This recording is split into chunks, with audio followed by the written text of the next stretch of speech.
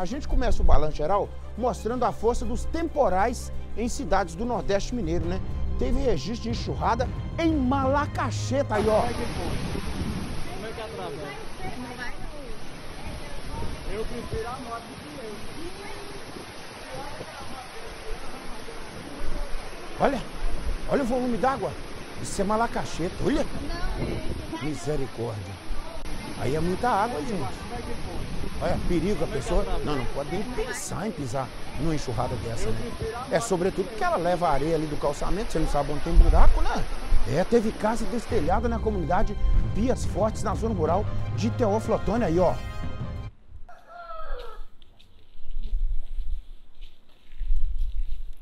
Essas telhas são as telhas novas. Até a feira dela molhou. Olha só. Meu Deus. Teve também chuva de granizo em Nanuque aí, ó. De granizo, olha. Ó. Coisa só Deus pra explicar, viu? É, rapaz. E a previsão é de mais água vindo por aí, né? Oxi, deixa eu chamar Fantoni Peço. Ô, Fantoni! Um amigo meu falou pra mim ontem à tarde, Fantoni, Nicomedes ficou sabendo que choveu granito lá em Teofantoni. Eu falei, não é granito não, rapaz. É granizo. É granizo com Z. Ah, é que choveu granito aí não, é granizo. Fantoni, a gente tava vendo aqui já algumas imagens. É, a, a chuva demorou a vir. Quando veio, ela trouxe esse, esse rastro de destruição, né, meu amigo? Bom dia pra você.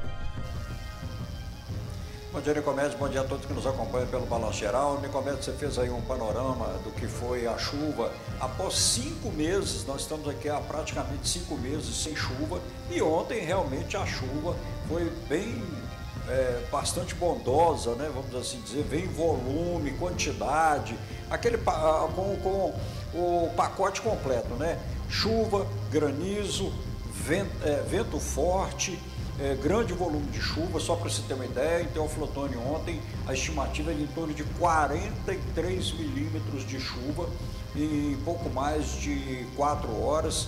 Então essa chuva, evidentemente, que ela trouxe problemas. Vamos começar lá por Malacacheta, essa enxurrada, essa corredeira que você mostrou aí, é próximo lá da, próximo lá da casa da sua família, né, Vitor? É, próximo lá da, da casa da família do Vitor, mas não trouxe problemas graves. A Defesa Civil ficou só de prontidão em, em relação a isso aí. O que se pede é que as pessoas não tentem atravessar uma rua nessas condições, não tenham contato com essa água, porque pode estar contaminada com leptospirose, pode ter algum objeto cortante, então pode ter problemas. Então, essa situação de Malacacheta, vento muito forte, a, a- a água, né, a chuva realmente provocou aí essa questão dessa corredeira das, das partes mais altas, evidentemente, para as partes mais baixas. Vamos um pouquinho agora avançar para Teófilo Otoni, onde na zona rural foi um fato que chamou a atenção, pediu o diretor aí para mostrar de novo a comunidade de Bias Fortes, onde o vento arrancou o telhado, obrigado, arrancou o telhado de algumas casas. A novidade, Nicomedes, é que a Defesa Civil já encaminhou o socorro para essas famílias. Nós vamos mostrar logo mais no MG Record. Já foram eh, enviadas as telhas para que as famílias possam ser abrigadas, serão acolhidas, amparadas. Então, esse foi o registro de aqui na zona rural de Teófilo Otoni. Na cidade, nós tivemos alguns pontos de alagamento, algumas ruas, eh, também uma rua no bairro, duas ruas aqui, nós tivemos aquele mesmo problema do Malacacheta, mesma questão do Malacacheta, que a rua virou uma corredeira, mas é aquela situação, Nicomedes, que você mostra essa imagem, causa impacto na rede social, só que meia hora depois que a chuva passa, você chega lá na rua, vai, mas cadê aquela enxurrada que estava aqui? Já foi embora.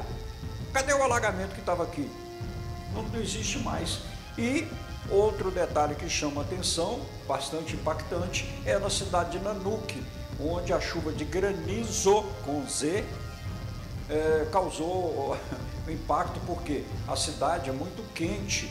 Então, quando a chuva vem muito rapidamente ou demora muito tempo, aí realmente essas pedras aí causam problemas e principalmente assustam os moradores. Mas tem pedra aí no começo quadro do tamanho de uma bola de sinuca, viu? Se isso bate no carro aí, realmente causa aquelas, aqueles pontinhos, né, aquelas perfurações Então, dá, traz um problema. A questão é, Nicomedes, previsão. Segundo o boletim climático, até a próxima segunda-feira, a previsão é de aproximadamente 120 milímetros de chuva para a região. Se ela vier escalonada, como por exemplo aconteceu a cada 40, 40 milímetros, 30 milímetros, tudo bem. O problema é que não pode descer de uma vez só. Então, se descer de uma vez só, Nicomedes, imagina você, Papai Noel vai chegar debaixo d'água. Em vez de vir no trenó, vai ter que vir num, submarino voador. Já imaginou um negócio desse? Como é que vai fazer? Como é que vai descer pela chaminé, Nicomedes? Então, vamos torcer que essa chuva venha calma, venha escalonada, cada dia um pouquinho, para que não cause problema às cidades. Nas rodovias também aqui tudo tranquilo, nada grave, o DR está fazendo o levantamento nos do, quase 2.500 quilômetros aqui de rodovia, juntamente com o DENIT, as polícias, nenhum acidente. Essa é a notícia boa, Nicomedes. É, tô vendo aí, enquanto você está falando, os meninos estão mostrando para a gente lá a retaguarda, a, os, os, o mapa aqui, né, é, da previsão probabilística, assim que se diz, né?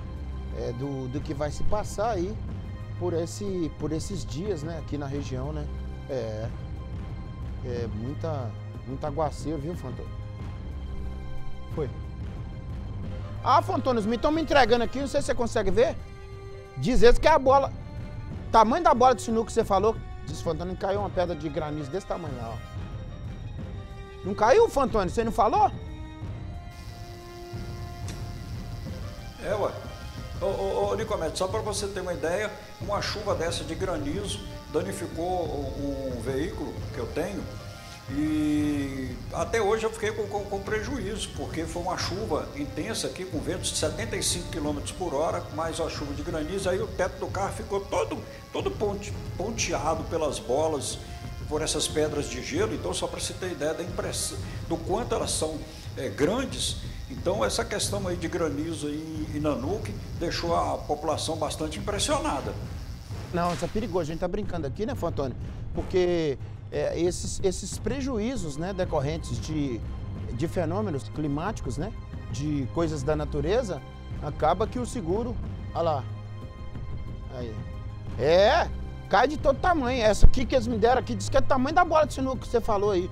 Cruz credo no C, Fantônio. Ô, Fantônio, se caiu uma bola de, de granizo do tamanho de uma bola de sinuca, se cair uma pedra do tamanho da bola de sinuca, ô Fantônio, ela estoura para-brisa, ela fura o carro. Se cair num telhado e cair na cabeça do sujeito, na altura que ela vem, ela vem lá do céu, ô, Nick.